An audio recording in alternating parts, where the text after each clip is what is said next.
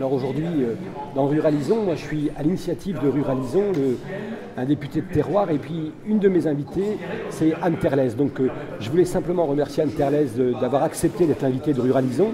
Euh, Ruralisons, des sénateurs, des députés, des dizaines et dizaines d'associations rurales.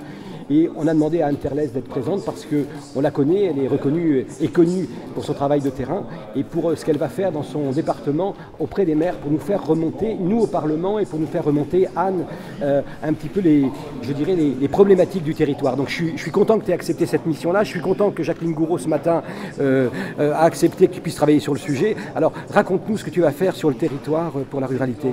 Alors moi j'habite un département rural, c'est le département de l'Eure.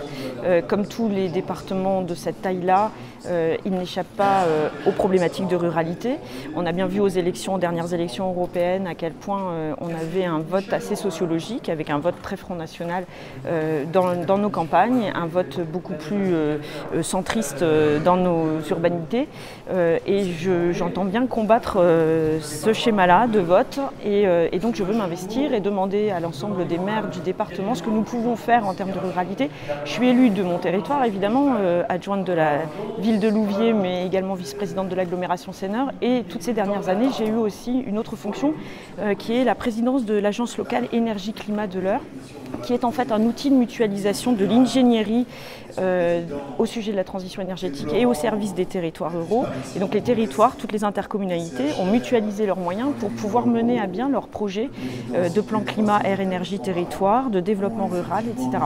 Donc tu es, pardon, Anne, tu es l'invité aujourd'hui de Ruralisons, c'est-à-dire que tu vas repartir sur ton territoire et tu vas nous faire plein de propositions Et je vais faire plein de propositions parce que je vois bien à quel point euh, aujourd'hui c'est crucial pour nos, pour nos campagnes, pour nos territoires et qu'il faut qu'on agisse de façon très concrète pour aider euh, l'ensemble des maires ruraux et l'ensemble de nos territoires ruraux.